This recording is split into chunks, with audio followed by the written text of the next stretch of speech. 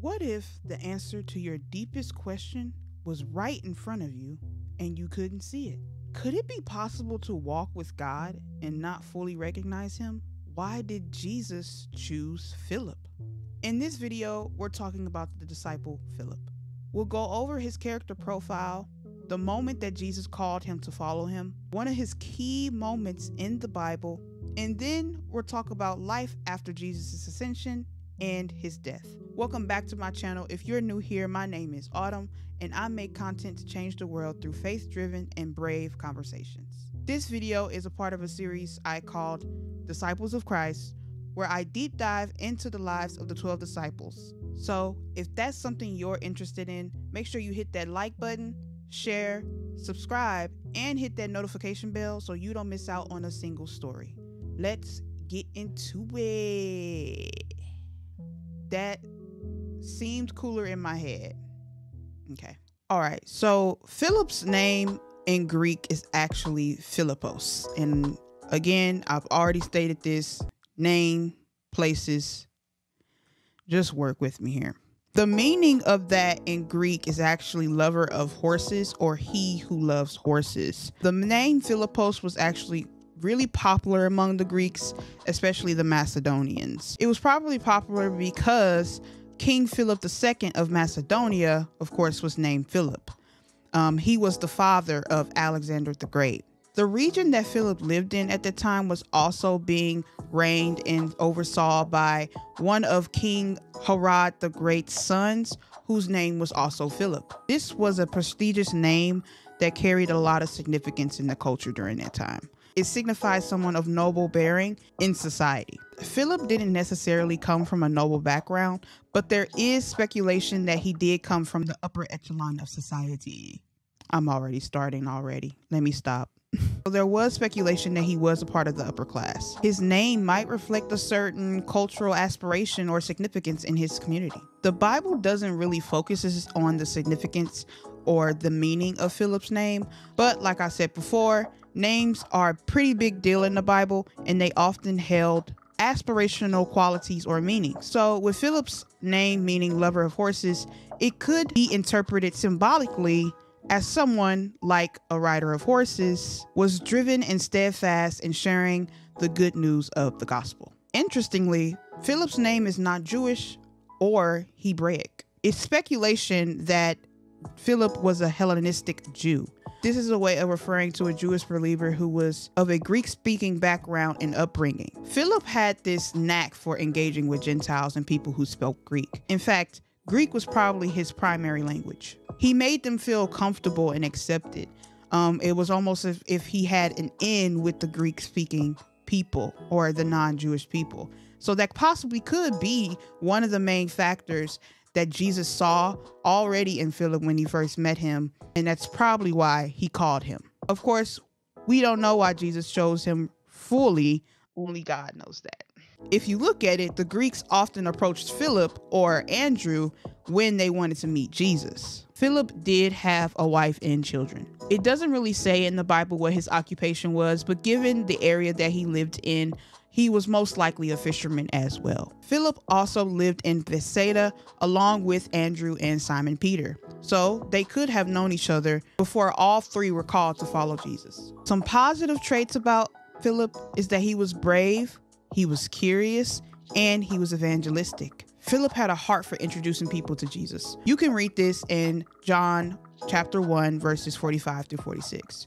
It says, Philip found Nathanael and said to him, we have found him of whom Moses in the law and also the prophets wrote, Jesus of Nazareth, the son of Joseph. And Nathanael said to him, Can anything good come out of Nazareth?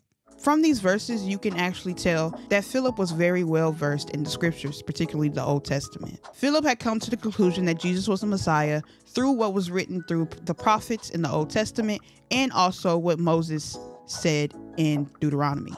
The Messiah's birth through a virgin was actually detailed in Isaiah. The fact that he was born in Bethlehem was detailed in Micah. The Messiah's lineage and his descendants from Abraham was detailed in Genesis chapter 12, verse 3. The fact that the Messiah was going to be from the tribe of Judah was detailed in Genesis chapter 49, verse 10, and that he would be from the line of David in 2 Samuel. And of course, Jesus' ministry was actually detailed in several places in the Old Testament, one being that he would be a prophet like Moses, and that is in Deuteronomy chapter 18. Of course, Philip, knowing these scriptures, being well versed in the Old Testament, um, probably hearing people talk about Jesus way beforehand. He probably heard the tidbits about who Jesus was, that he was from Nazareth and all that stuff.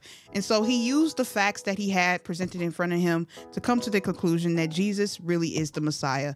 And so he was very eager, eager to bring his friend Nathaniel to Jesus so that Nathaniel can also meet the Messiah. This brings me to a negative trait of Philip in that he was very pragmatic. A pragmatic person is a person who deals with situations and problems by focusing on practical approaches and solutions. They are really fact driven people rather than ideal driven people. Philip was grounded in reality and lacked faith at times when he saw Jesus performing miracles or anytime Jesus showed his supernatural capabilities as Christ. This is actually demonstrated in the feeding of the 5,000, which I read about when I talk about Andrew, and you can go see that video through this link up above. But of course, watch this first, then go watch that. And go ahead and watch Simon Peters episode 2 while you're at it. Again, watch this first. Now, let's get into the moment that Jesus called Philip to become one of his disciples. Okay, so Matthew, Mark, and Luke don't really go into detail about the moment that Jesus called Philip to follow him as a disciple. Um, the Gospel of John is actually the only gospel in the Bible that actually goes into detail about that moment. Why that is, uh, there are some theories out there. Go ahead and do your own research and maybe even leave it down in the comment section. But I'm not going to get into all that. Just know the man was called. This is detailed in John chapter 1, verses 43 through 46. It says, The following day, Jesus wanted to go to Galilee, and he found Philip and said to him, Follow me. Now, Philip was from Bethsaida, the city of Andrew and Peter. Philip found Nathanael and said to him, We have found him of whom Moses in the law and also the prophets wrote, Jesus of Nazareth, the son of Joseph. And Nathanael said to him, can anything good come out of Nazareth? Philip said to him, Come and see. Here we can start to learn some things from Philip as a person. The first thing is his willingness to follow. Philip's immediate response to Jesus' call suggests that he had a heart to follow the Messiah. And he did so without any hesitation. He didn't question it. He was just like, This is the Messiah. Why wouldn't I go with him? He didn't demand any explanations or any signs or miracles or wonders. He didn't need to really see Jesus do a miracle in order to know that he was the Messiah. Philip demonstrates the importance to be open and ready to follow when God calls us, even if we don't even fully know where we're going or where we're being led to. Come on, y'all, it's Jesus. I mean, you don't need to know all the facts of what God is calling you to. Just know that that is God and He's calling you. So get up and get moving. Another lesson we can take is that he was very connected to the community. Like I said before, Philip is from the same city as Andrew and Peter. So with Andrew going around talking about that he found the Messiah, you know, Peter having that, you know, whole epiphany with him following Jesus, word is spreading around. Things about Jesus are being said. And so Philip being in the upper class, he probably was associated with a lot of people. Um, he had he was really in with the non-Jewish people as well, the Gentiles, and so he got all the tea all the time. So he probably already had it in he, because of his connection with the community. He already had it in his head that this is the Messiah. Um, and so for Jesus to approach him and ask him to come follow me, he's like, "Why not?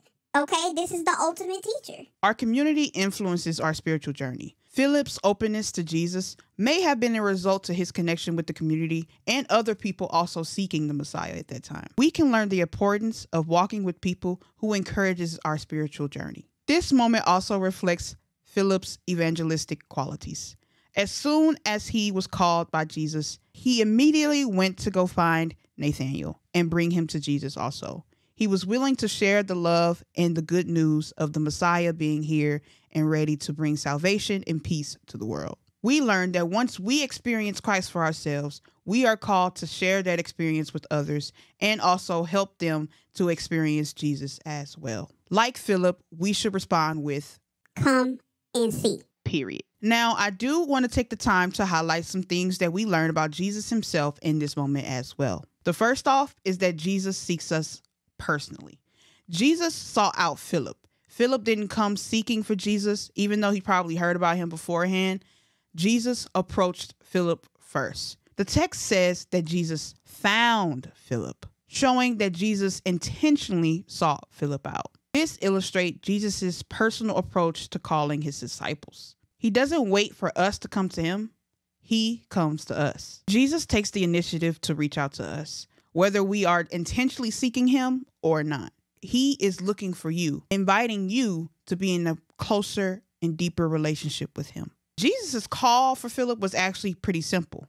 The only thing the man said was, Follow me. There was no complex instructions. It just was a simple invitation for Philip to um, follow him. The call of Jesus is simple yet profound. He doesn't demand that we have everything figured out before he calls us to follow him. The first step is to trust and to be obedient. Like I said before, we don't have to understand every detail of the calling. We don't have to know where we're going. And I know that's a scary thought. Like, I want us to know if this is going to end up badly for me or not.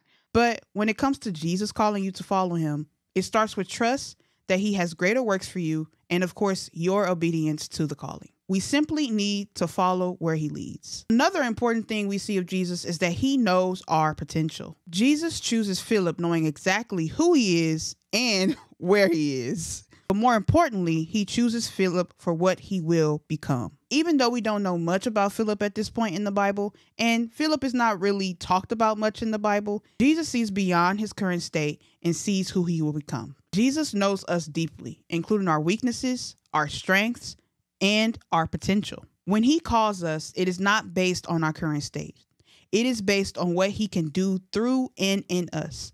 You don't need to feel inadequate or unworthy of His call. All you need to do is trust and obey. Now, let's go over one of Philip's key moments in the Bible and what we can take away from that. Like I said before, there's not really that many key moments in the Bible with Philip. But the Gospel of John, again, is what I'm going to be reading from to really highlight a key moment of Philip because he goes into more detail on that matter.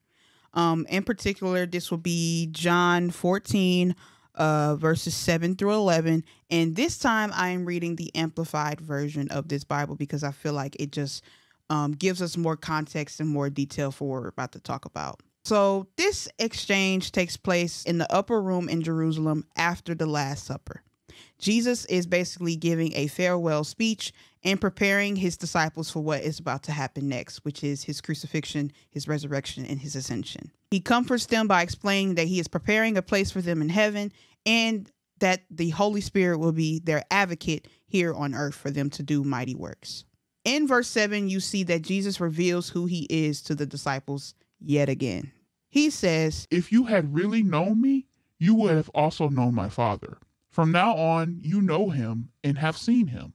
Now, this is not the first time that Jesus basically reveals who he is and reveals the oneness with the Father. I'll put in several places on the screen where he's actually said this before to the disciples. So they've been hearing it for the past three years, okay? So there this is not the first time they're, they're hearing of this. In the verses before verse 7, Jesus says, I am the way and the truth and the life. No one comes to the Father except through me. If you had known me, you would have known my Father also. From now on, you do know him and have seen him. Despite this powerful declaration that Jesus once again tells his disciples, Philip still asks for a more tangible revelation of the Father. In verse 8, it says, Philip said to him, Lord, show us the Father, and then we'll be satisfied. In verse 9 through 11, Jesus says, and I'm laughing because like this is gangster. Ew, gangster? Okay. Jesus said to him, Have I been with you for so long a time, and you do not know me yet, Philip, nor recognize clearly who I am? Anyone who has seen me has seen the Father. How can you say, Show us the Father? Do you not believe that I am in the Father, and the Father is in me? The words I say to you, I do not say on my own initiative or authority but the Father, abiding continually in me, does his works, his attesting miracles and acts of power. Believe me that I am in the Father, and the Father is in me. Otherwise, believe me because of the very works themselves which you have witnessed. So Jesus had been performing miracles. Jesus had been telling the disciples that he, if you see him, you see the Father. He had been already describing his oneness with the Father. Philip was there at these miracles with the feeding of the 5,000, um, the miracle he did at the wedding in Cana. He has been through it all. And so for Philip to come and ask again, show us the Father, Jesus was like, bruh. Did you not just spend three years with me, Philip? Like, come on now. Now, I did come off a little bit judgmental right there, and so I know you did too. So don't even try to act like it. But so before we judge this, we do have to realize the uh, emotional impact of this moment, okay? This is a deeply emotional setting right now. Jesus is preparing his disciples for the fact that he be leaving them physically, but he's also reassuring him that he will be in their presence through the Holy Spirit. The disciples, however, as you can see with Philip's response, are still confused and very anxious. They believe that the Messiah is there to redeem them from the political reign of the Roman Empire, to finally give them peace and salvation. And Jesus just rolled up in here talking about he's about to leave them and the mission is not done. We're still under Roman authority. What are you talking about? You're going to leave? Most of them probably still felt inadequate, unready to really do the mission that God was telling them that they would need to be doing. It's almost like when you're about to leave the nest after being under your parents' house for so long. You don't really know if you can handle the responsibility that you've seen your parents do, or if you even want to. Let's be honest. And of course, Philip was a fact-based person, and so for Jesus to say that he that they have seen the Father, he's like, Where he at though? Where he at? Make it make sense, Jesus make it make sense. I don't see the man. I don't see the man. But I do want to pause and really um leave you guys with the question that I'm going to be answering for myself um as I do my own um personal Bible study and talk with God. It's this. Do you know who Jesus is? How do you see Jesus? This passage brings up a larger discussion of Jesus' identity, his relationship with the Father, and the promise of eternal life. Jesus, in this moment, is explaining his divine nature and the deep unity between himself and God. This is actually crucial to the theology of the Trinity. Now, there are many videos on the Holy Trinity, so you could go out and watch those. To be honest, this is something that I still don't understand the Holy Trinity I'm, I'm referring to. Um, I've watched many videos and I still don't have an understanding. And so, you know, I'm going to make sure that I do my due diligence to speak with God so that He can bring clarity on the matter for me. Um, because this is actually knowing who Jesus is and, you know, His relationship with the Father and um, his divine nature is very important to your spiritual journey. And so, if you don't have an understanding of that, then you probably don't have an understanding of the majority of the Bible and just God's relationship with you. Now, there are some lessons that we can actually learn from Philip in this moment. Philip asks Jesus to show him the Father. This just reflects that Philip had a deep desire for understanding. I notice that as I read the Bible more and I start to learn more about Jesus, is that I still have this deep longing desire to know God more fully than what I think that I know about him now. Philip was genuinely seeking revelation and clarity on who Jesus was in his relationship with the Father. Like Philip, we may have sincere questions and things that we want more clarity on. And like I said before, we all have a longing to have a deeper understanding of God, even if we don't even fully grasp the truth that is standing literally right in front of us. As in Philip's case, Jesus was literally standing right in front of him. So the moral of that portion is bring your questions to God. Jesus actually says, Those who ask will receive. And so if you just come to God with your questions, no matter how small or big they are, he wants a deeper relationship with you. He wants you to know him more deeply. He wants you to form that bond. So bring your questions to him. It's just a personal conversation between you and him. I'm not going to know about your questions. This moment also just reflects our again our human limitations and our misunderstanding of God sometimes. Philip had been walking with Jesus for 3 years. Jesus had been performing miracles. Jesus had even stated that through him you see the Father multiple times. And yet, Philip still did not fully grasp the depth of Jesus' divine identity in his unity with the Father. This just shows our human limitations of understanding when it comes to the mysteries of God. even as a believer, we still struggle to come to terms to certain spiritual truths. Like I said before, even I still don't even fully understand the Holy Trinity of God. And I think we all can agree that we really don't understand the true nature of God sometimes. Again, this is just a reminder that we should seek wisdom and have patience in our faith. God will provide those answers eventually, especially if He sees that we are eager to seek deeper revelation of who He is. And you can seek deeper understanding through Jesus. I encourage you to read more about Jesus, learn about his teachings, dive deep into Jesus, and through Jesus, you see the Father. Philip also was very bold with his questioning. Um, I think I always picture this moment as like when you're in the classroom and the teacher asks a question or the teacher says something and then it's just dead silent and then you got that one student that's like, um, What?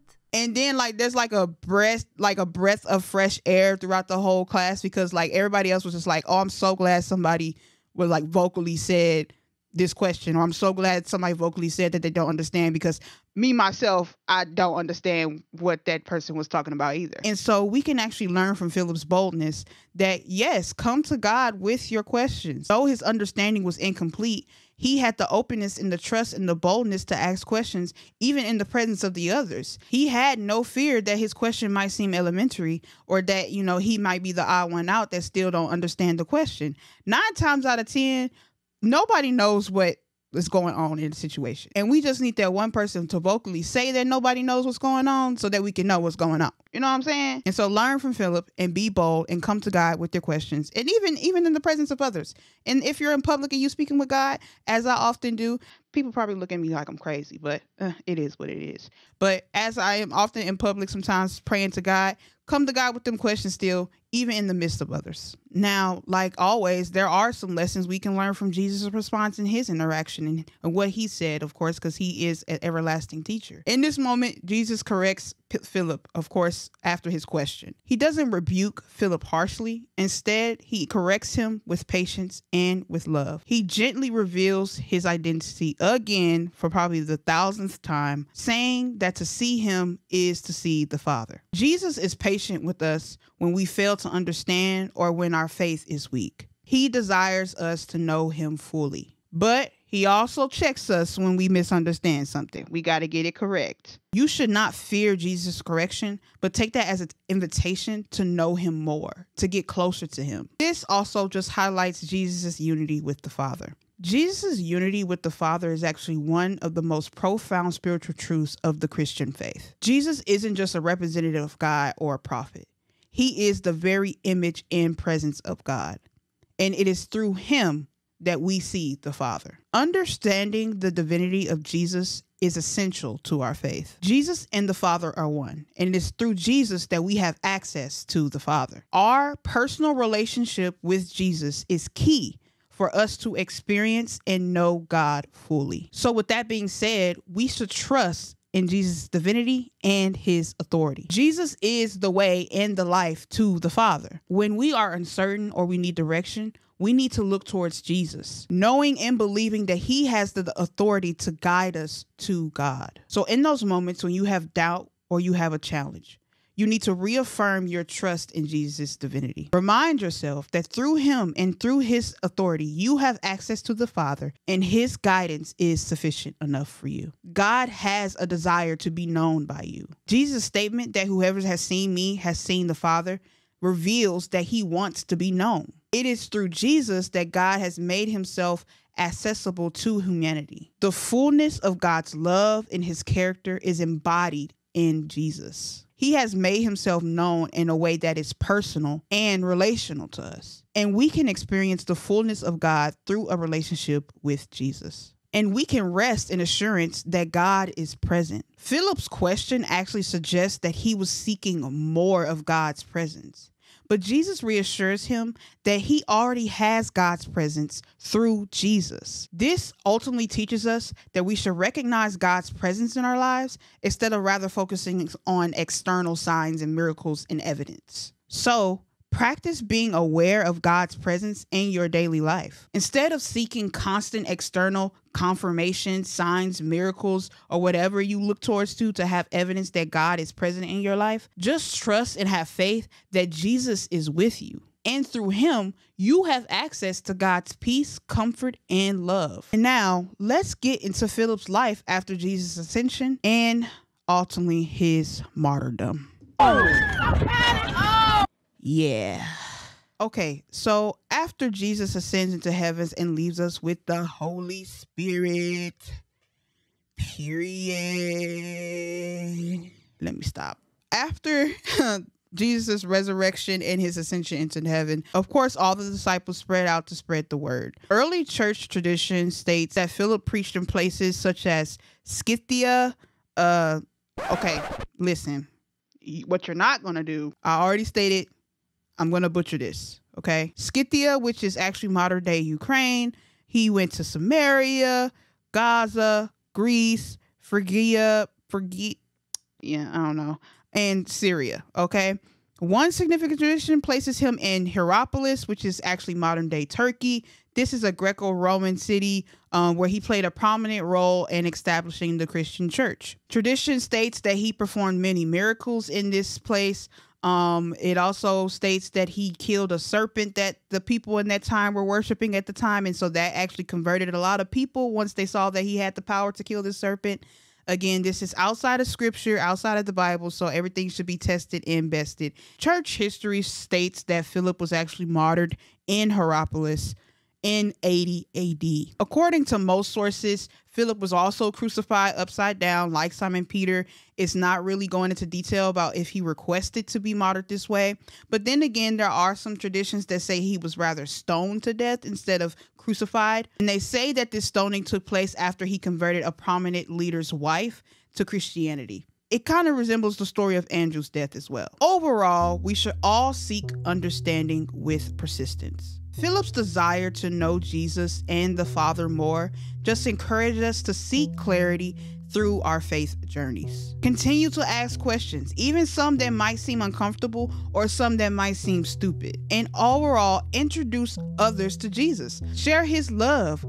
Don't be stingy. Everybody need a piece of Jesus. In the description box below is a list of resources I use to make these episodes. I will be continuously adding things to this list as I make more episodes. And if you have some resources as well that you use and that you think will be helpful for me and the, your community, go ahead and leave it in the comment section below and make sure that it is accurate. Don't be putting stumbling blocks in front of people's face, nah. So, I actually have another question. Why did Jesus choose a flawed fisherman like Simon Peter to be a leader in the early Christian church? You can click on this video to find that out also, I did a video on Andrew if you're interested in that. Subscribe and hit that notification bell so that you don't miss out on next week's episode on Friday where I talk about Nathaniel. My final words to you Let God do his part. peace.